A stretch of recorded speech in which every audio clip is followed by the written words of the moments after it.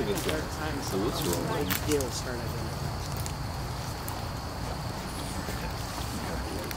So I mentioned earlier one of the other mimics that looks like wild onion.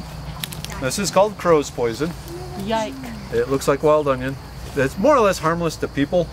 If you eat a bunch of it, you can end up with a bit of an upset stomach. Uh, its main claim to fame is use uh, take the, the juice from this and mix it with some grain and set it out for the crows, and it makes crows sick. It makes birds sick, and so they'd use it to just teach the crows not mess with my grain. um, but it, it looks like a wild onion, but if you mash it up, it really doesn't have the onion smell.